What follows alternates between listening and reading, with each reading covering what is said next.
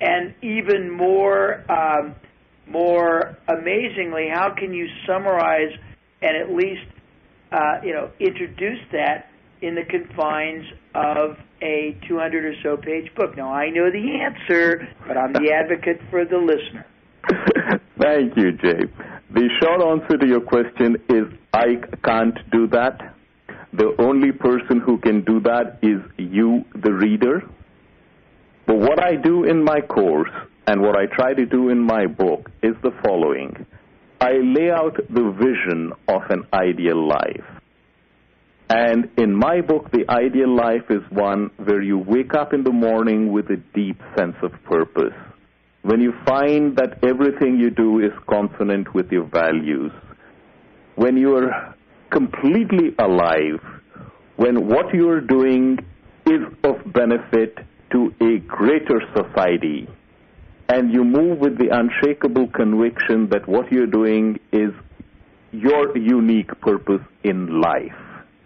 When you have that, then you're re- living a fulfilled life, and that is my vision. And virtually everybody, when I describe and articulate that, says, Yes, that is where I want to be. Virtually everybody also recognizes that where they are is some very considerable distance from that.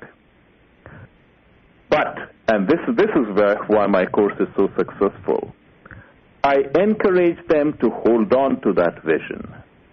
There are exercises that I take them through which palpably demonstrate to them that yes, that vision is attainable.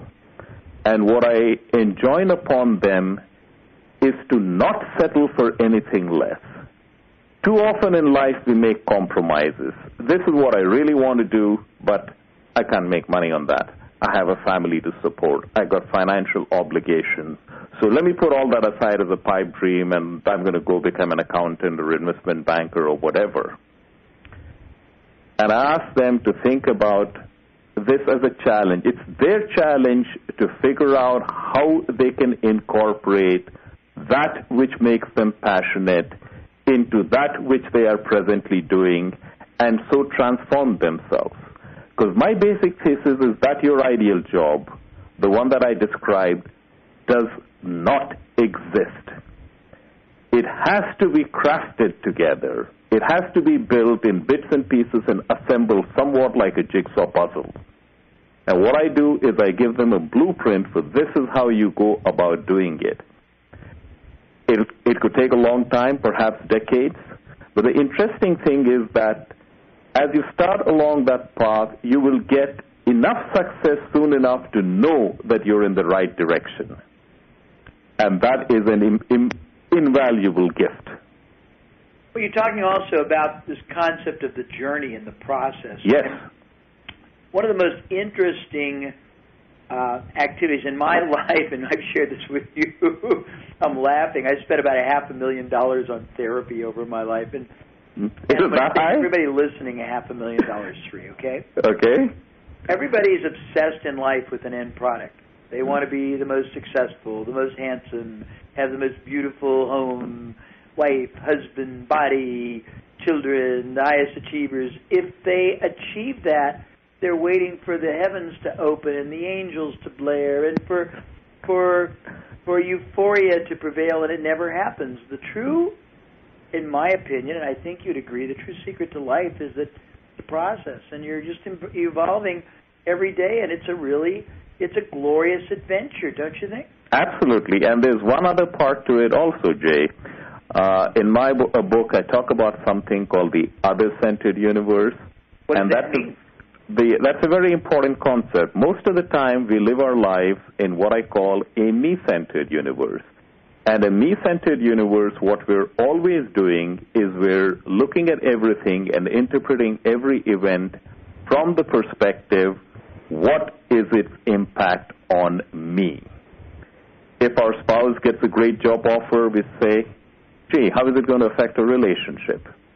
If our daughter comes back with tattoos and piercings in inappropriate places, we say, oh, what are my friends going to think of my parenting? It's always me you know, how is it going to impact me?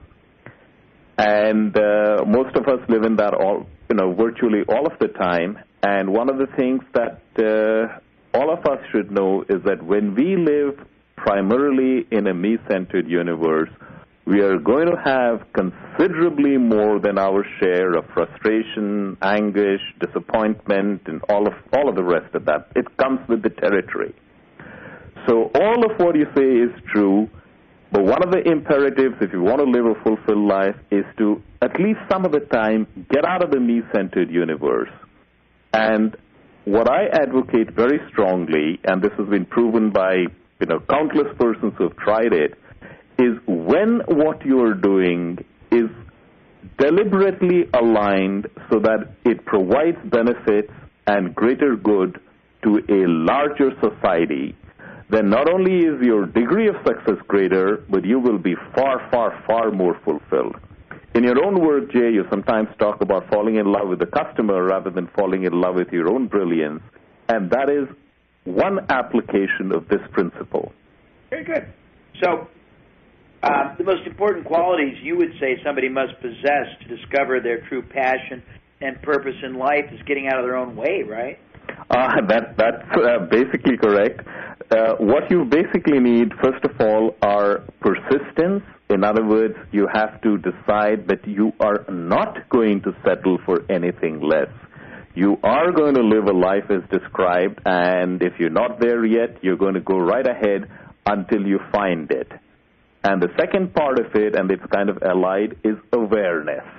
Most of us are very unaware. There are things which move us, and we kind of say, oh, that that's a pipe dream, ignore it.